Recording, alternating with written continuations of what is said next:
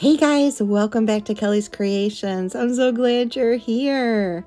So, floating candles is all over Instagram, all over TikTok. So, I wanted to try it, but I couldn't find the actual floating candle. um, so, I decided to make my own.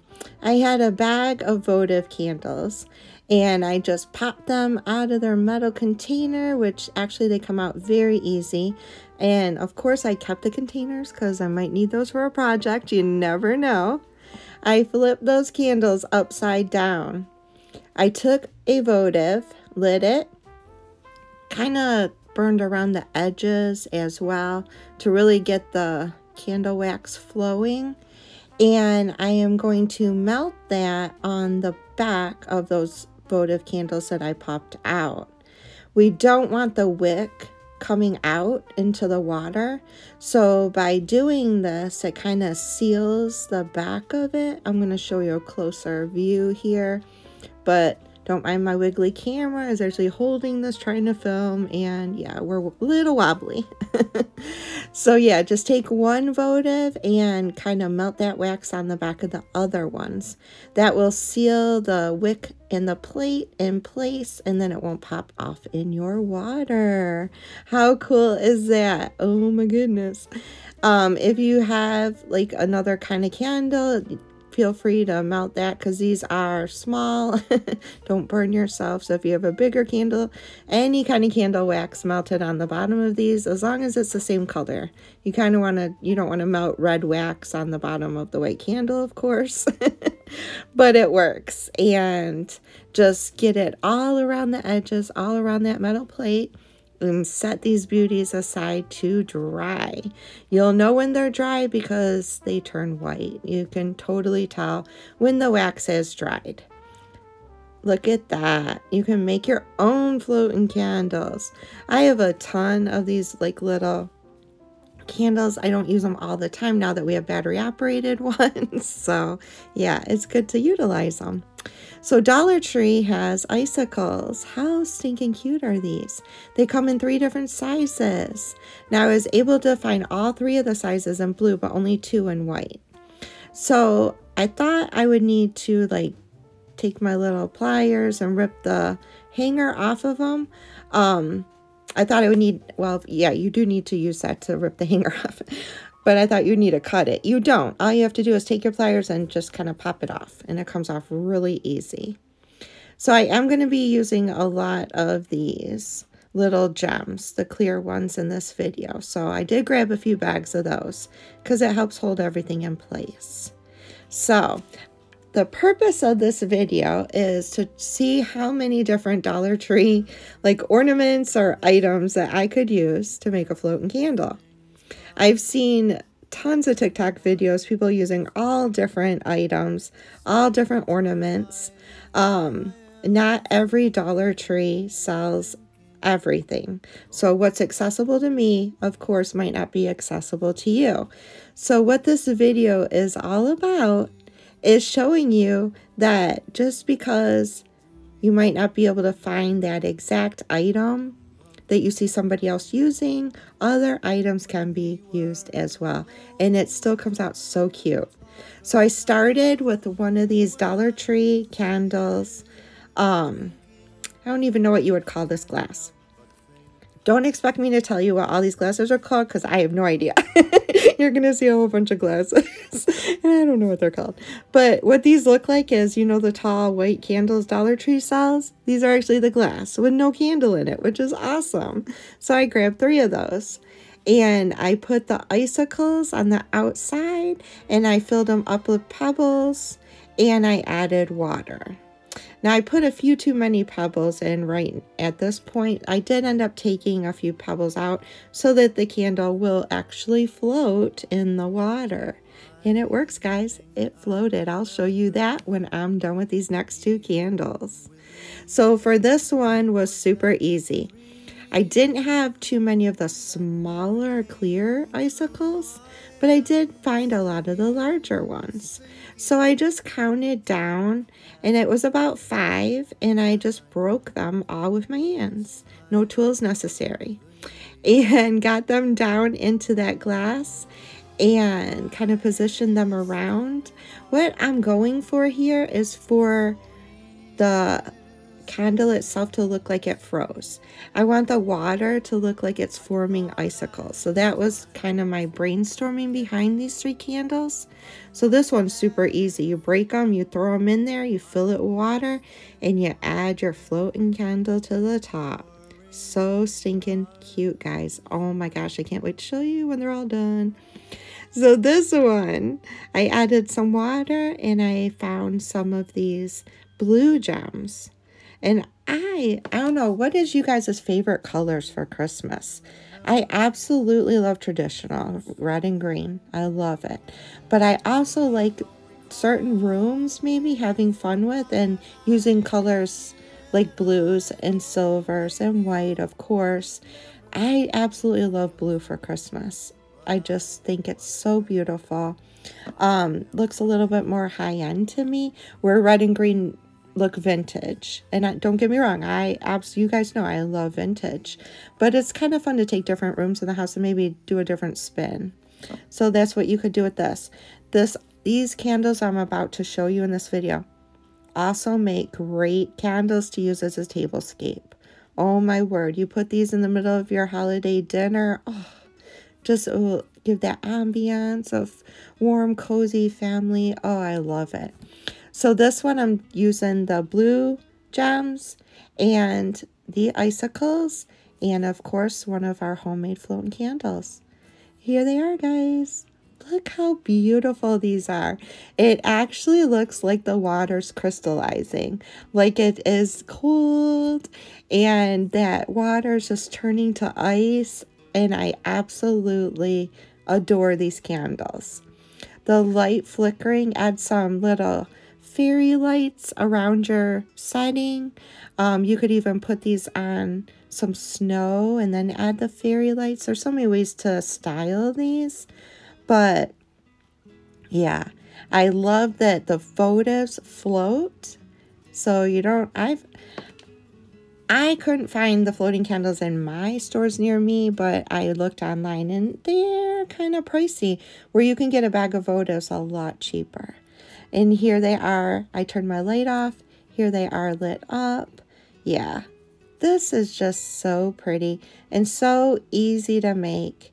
Each candle costs, you get 10 icicles in a pack. So this is like under $3 to make for each candle. And yeah, Look at that. So beautiful.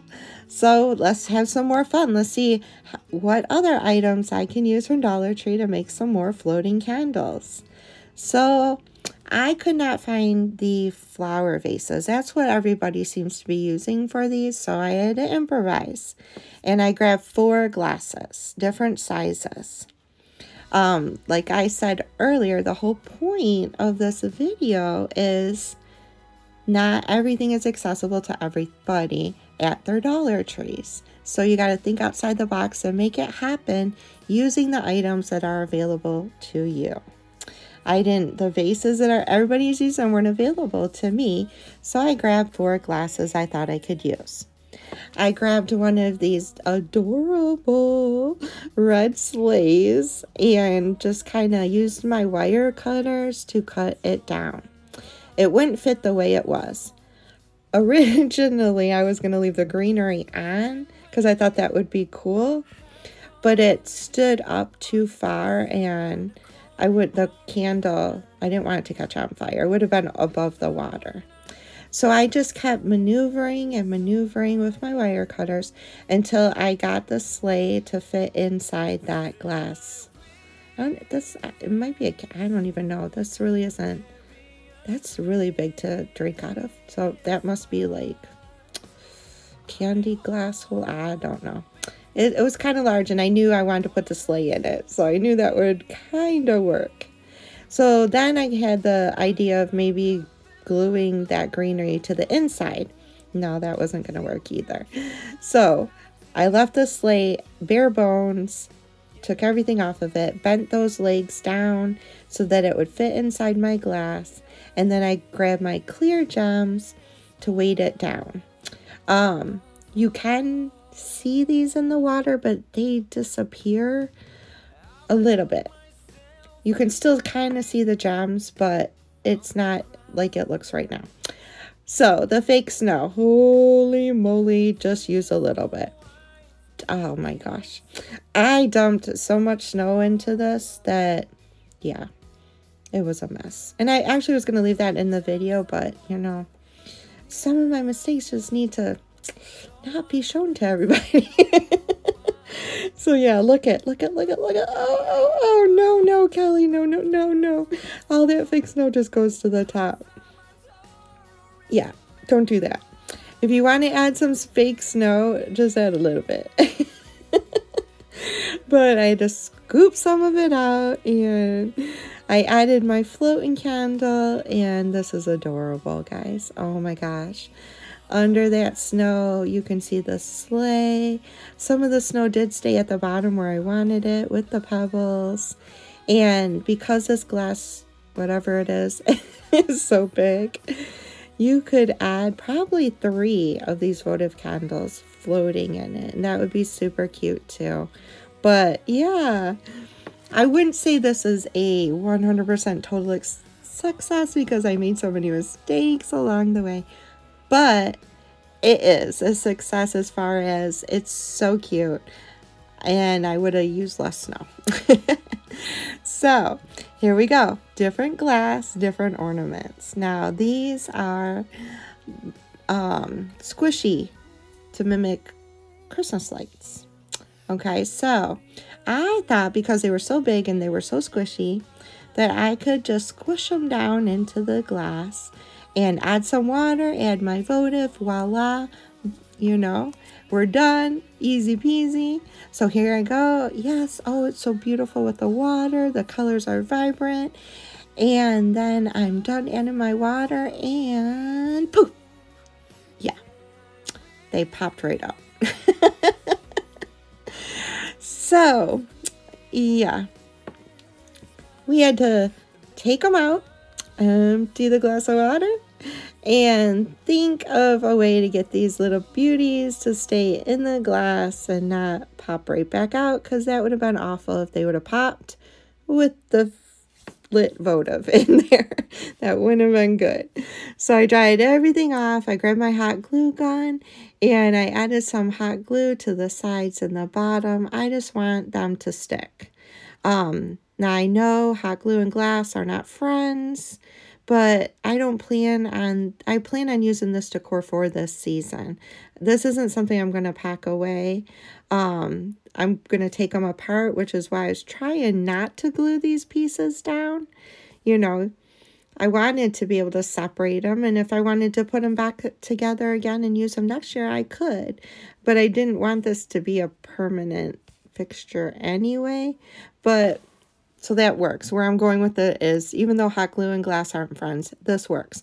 It will hold it down enough so that you can get your per your pebbles in there, add your water. The pebbles are helping to hold these down too, so I highly suggest using them. Put your water in there, put the votive in there, and yes, even though it popped up the first time, I was able to secure it. And this is like one of my favorite ones just because when you add the water, the ornaments, of course, look bigger in water. And that red is gorgeous. I don't think I'm going to really fully capture how pretty it is, but yeah, it's really pretty. That candle floats around on top. Oh my goodness. Look at that vibrant gold and red. If you're decorating traditional with red and green, if you're doing a traditional tablescape and you put a few of these in the center, put some greenery, some fairy lights around, you would have the most beautiful table. What's also neat about these little ornaments is my store, they come in red and they come in blue. I don't know if they come in any other colors. Let me know if you've seen other colors. But here they are in blue and silver. And I think that would just be amazing to do another one just like that. So here's another glass. Here's another ornament. Like I said, I wanted the, it, this was kind of like a fun experiment to see how many ornaments and how many different glasses I could use to make floating candles. So I absolutely adore this ornament. It is so cute. It's like a big bottle top. And I love the silver edges. I love the little scene on top with the snowman in the blue. And this one is super easy.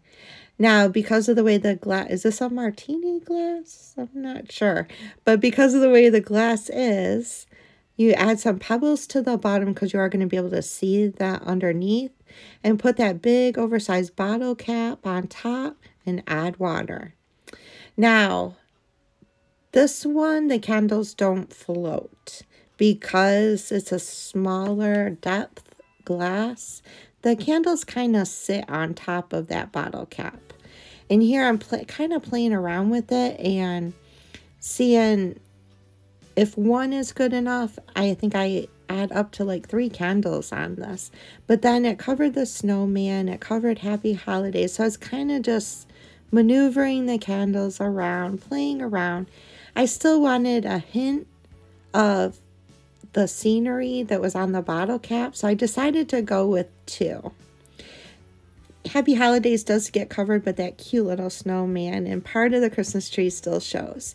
So I thought that was super cute. And look at that. I love how you see the bottle cap on the side. That's why I chose this glass for it. And the pebbles to shimmer at the bottom. And then you can see the blue and the red and the cute little snowman on top. Like I said, you could just go with one you don't have to use two candles. This would be super cute with one as well. So let's try another one. Now, these did not come from Dollar Tree. These were on clearance at Target last year, and they were too cute to pass up. But the clearance price was $3, so they end up still actually being cheaper than Dollar Tree now because they're only a dollar a piece. So different candle, different ornament. The problem is this guy's too tall. So can't really put a floating candle in there when his head is sticking out of the glass. Now, if your Dollar Tree does sell the vases, this would be perfect because you could leave it all together and put it in one of those vases and you're done. I unfortunately had to amputate. And I really felt bad because this guy's super cute, but I wanted him as a floating candle and he wasn't working the way he was. So first I was just going to kind of just trim it. And then I realized that you can just pop this off. So that was a lot easier. I just popped the base off and tried that out. yeah, he still wasn't tall enough. Oh my goodness. Oh, I'm so sorry I had to do this to him, but I had to grab my tool and I had to cut him off at the knees. oh, the poor little soldier. So, here we go. I tried just kind of trimming off just a little bit at a time. And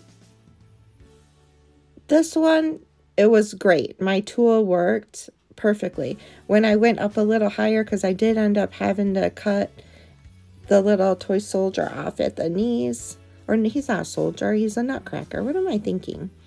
The little nutcracker at the knees. Um, it was a little harder, so I kind of took my tool and I squished it as hard as I could and then flipped it around and then it went right through. So yeah, my little nutcracker got cut down just a little bit. That's how much shorter he is compared to the other guys. And I added sticky tack to the bottom because I did try hot glue and yeah, that wasn't working. Like I said, I didn't want these to be permanent. I want to be able to take them apart after the holiday season. Um, the only thing I didn't like about the sticky tack was it was blue. If I had this color green, I probably would have painted the sticky tack to match the nutcracker. Um, but when it was all said and done, you really didn't notice the blue too much anyway. So I added some pebbles in there to help weight him down. and added some water. This time I put a little bit of the snow inside the water, tried it that way um, to see if it wouldn't come just all. I wanted it to stay at the bottom too. Eh, some of it did, some of it came up. Um, yeah, I don't know. I just, I like the snow effect. I just don't like how it all rises to the top. So maybe use different snow. This was Dollar Tree snow. I don't know if that would be different or not. But I added water all the way to the top and put the floating candle in. And this one is so stinking cute. Oh my gosh. If you used all three nutcrackers, the different colors, you would have three different candles. Like I said, my Dollar Tree had to use the glasses that I could. This is what was available to me. But every Dollar Tree has different styles, different kinds of glasses too. So yeah, next time you're at Dollar Tree, go to the glass section, grab a few glasses, go to the ornament section, pick out a few ornaments, and you can make your own floating candle. You don't have to pay those high prices for them. Grab some votives and make your own. Here is the four that I just did all together. Look at that. So cute. Oh my gosh. I can't wait to use these when I decorate my table for Christmas. I hope you guys enjoyed this video because I had so much fun. So much fun making these candles. And like I said last week, I really, really, really am trying to hit 10,000 subscribers this year. So share it with your friends, guys. Share it on your social medias. And if you're new, welcome. Thank you for taking the time to watch my video. I hope you enjoyed it enough to hit that like button and that subscribe button. I will have a video from now till Christmas every week of different Christmas DIYs, and I'm so excited. I love this time of year. I hope everybody is having a most blessed and wonderful week, and I'll be back next Tuesday. I love you all, and I'll see you next Tuesday. Bye, y'all.